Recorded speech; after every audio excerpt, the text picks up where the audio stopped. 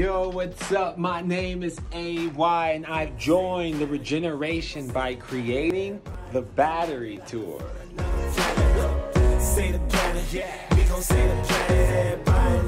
Initially, what inspired me to create the Battery Tour was just simply figuring out how can I power a concert using renewable energy, bring people together, using the universal language of music as a vehicle to raise awareness and get people plugged into sustainability. There's over a billion people who lack access to energy.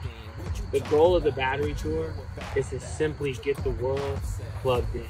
So far, we've done over 800 renewable energy powered events. Just last year, I did 230 Battery Tour shows, and we helped get access to energy to over 17 countries. The United Nations just appointed me one of the 17 young world leaders. So now we can truly make a larger impact. My hope for the future is that simply everyone in the world can recognize that they are an outlet for change. You are an outlet for change.